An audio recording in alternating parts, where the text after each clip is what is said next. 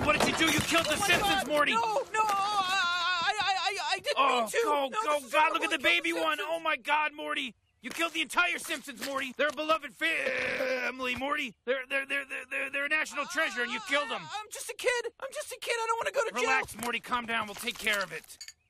Okay, I want you to take that vial of Simpsons goo and this picture to this address. They'll make us new Simpsons. You understand me, Morty? Me?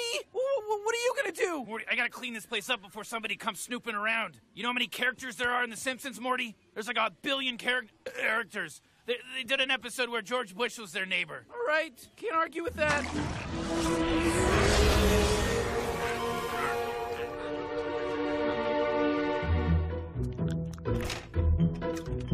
Ugh. Ah.